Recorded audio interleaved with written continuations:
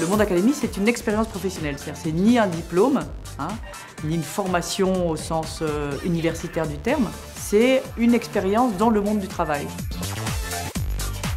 Il y a eu trois séminaires, et c'est des séminaires dans lesquels on, on donne les bases du métier et on fait un peu du travail pratique. Il y a des conférences de rédaction où chacun propose son sujet, on donne des idées de comment prendre ce sujet, qui aller interviewer. C'est vraiment des conseils de professionnels, j'allais dire. hein. We have a situation, a time where we come out every week. We publish three editions Asian, European, and American. However, every single thing in the magazine is fact checked in New York.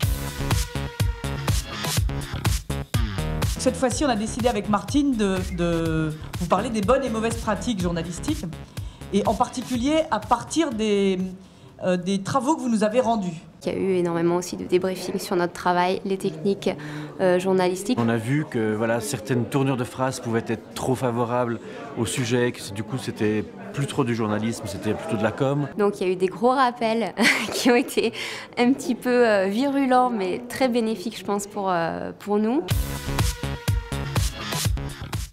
On va éditer nos papiers, on a envoyé des papiers à, à nos parrains marraines et euh, on va corriger en fait euh, nos articles. On a réparti les académiciens en six groupes et dans chaque groupe il y avait 8-9 personnes et on a lu leurs textes et on a fait des critiques sur la façon de- d'entrer dans le sujet, sur la façon de raconter cette histoire. L'utilité, c'est qu'on est entouré de journalistes du monde qui sont des gens expérimentés, qui sont quand même euh, des gens qu'on doit écouter, des gens qui sont de, clairement de bons conseils. Donc pour nous, c'est c'est vraiment ce qu'il y a de mieux. Quoi.